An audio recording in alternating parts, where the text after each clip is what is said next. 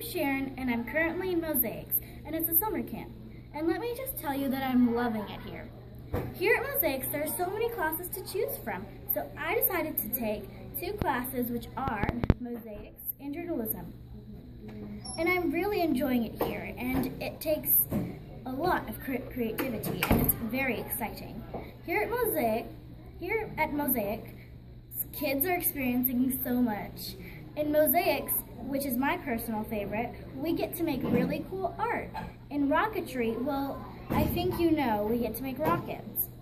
And those are just some classes. There's duct tape, rainbow loom, ceramics, JavaScript, web development, and so much more.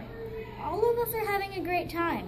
We can't wait to come back again next year.